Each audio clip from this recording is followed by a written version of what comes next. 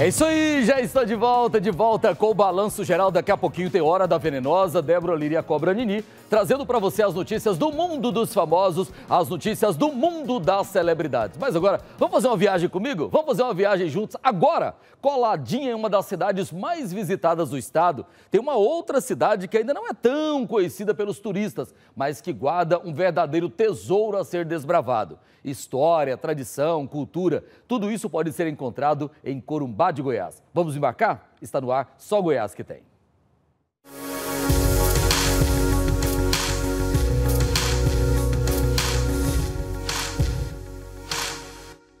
Corumbá é a segunda cidade mais velha do estado. É de 1730, três anos mais nova do que a antiga capital, Goiás. É obra de bandeirantes paulistas que procuravam ouro por essas bandas. Aparentemente nem ligavam para as cachoeiras da região. Aliás, destruíram a maior delas. O majestoso Salto de Corumbá só voltou a ter água na década de 1990 mas os exploradores aqui acolá fundavam um arraial. A cidade preserva muita coisa desse tempo. A primeira casa construída em Corumbá ainda está de pé, claro. Passou por muitas reformas, afinal a estrutura é de 1733. O casarão que abrigou mineradores hoje está à venda. É parte de um conjunto arquitetônico do século XVIII, preservado e tombado como patrimônio histórico-cultural. Corumbá é uma das quatro cidades goianas que tem seu centro histórico tombado.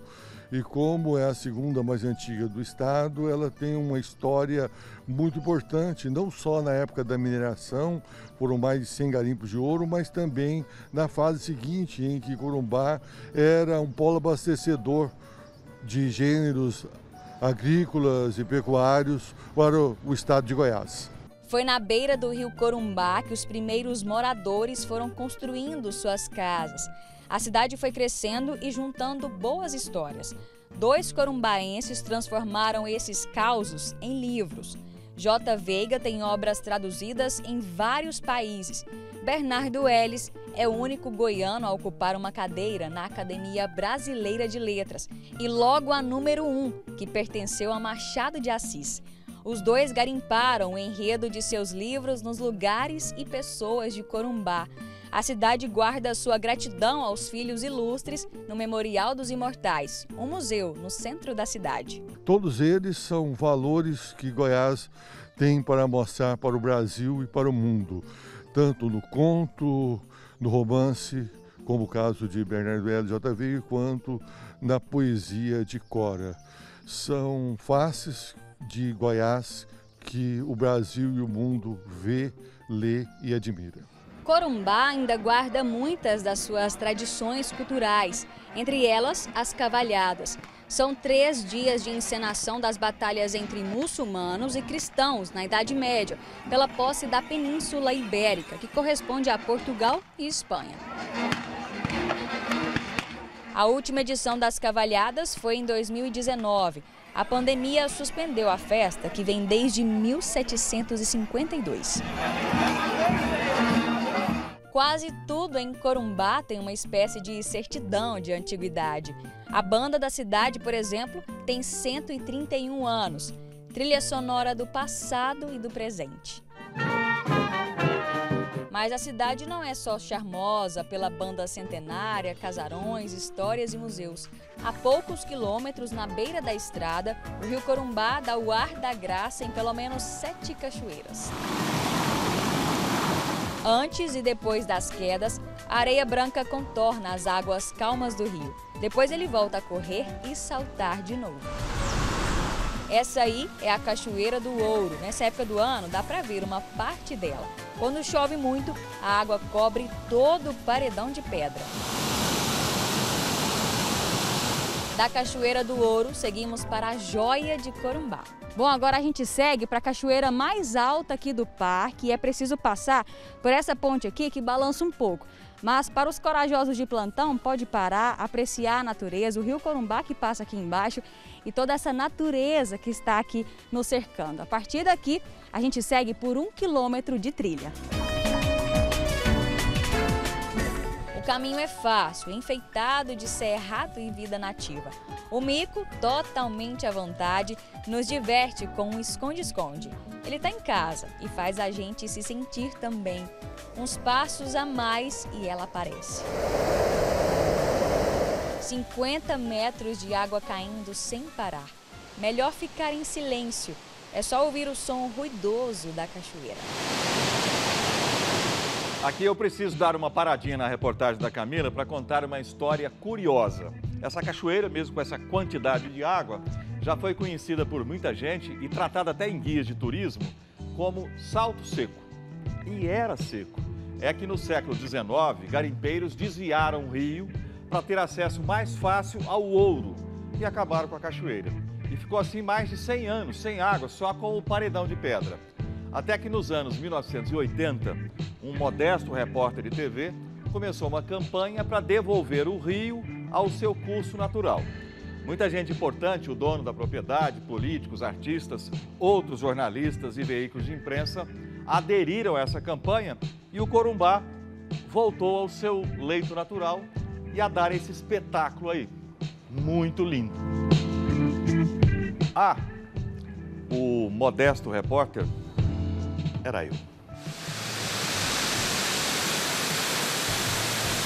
Essa água cristalina, gelada, exuberante, pede cabeça erguida, literalmente, para ver o topo. Vem gente de todo lugar para ver. O turco Mustafa fez o que pôde para descrever em português o que via e sentia. É muito, muito, muito bonita, a gente é muito amigável e sim, eu, eu gosto muito. Para um goiano é mais fácil ainda. A cachoeira está a pouco mais de 100 quilômetros de Goiânia já é a quarta vez da Jaice aqui. Aqui é um lugar tão calmo, tão, tão tranquilo. E assim, parece que quando eu venho pra cá, eu descarrego tudo que eu tenho lá da cidade, sabe? A gente mexe com o negócio, a gente precisa relaxar. E aqui é o lugar ideal. O lugar é um carregador instantâneo de energia. E com a bateria recarregada, a gente continua nossa expedição pelas cachoeiras. Uma vereda nasce o córrego da gruta. Ele desaba numa queda de 40 metros. Abaixo da queda, a água repousa, sossegada, num lago transparente.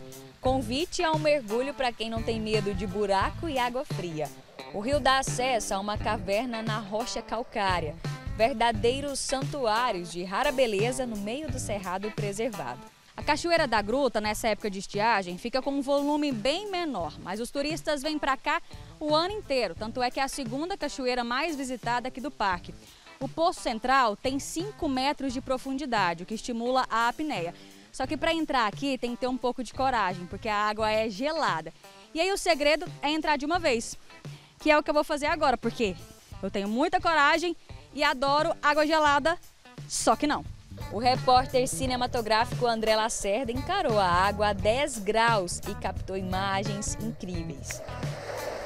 Eu fiquei só observando em cima das pedras. É um, um atrativo bem que atende todas as faixas etárias, né? A, a, o foco principal, sem dúvida, é a família. Então, as famílias vêm com crianças, vêm as pessoas com maior idade e tem sim essa preocupação, né? As trilhas estão sempre bem conservadas, corrimãos. É, agora tem a trilha do ouro que vai poder ajudar quem tem dificuldade de locomoção para ir para o salto. E de lá, seguimos para uma aventura em terra firme. Aqui a gente se despede das águas do Corumbá. Densas e profundas como nessa caverna, alegres e impetuosas nas corredeiras e saltos em cima das pedras. No episódio da semana que vem, a dupla Camila Rodrigues e André Lacerda vai nos mostrar um abrigo de onças, a requintada produção de queijos finos e uma trilha que não cobra sacrifícios. Um trenzinho turbinado corta o cerrado conduzindo o turista a um passeio que só Goiás que tem.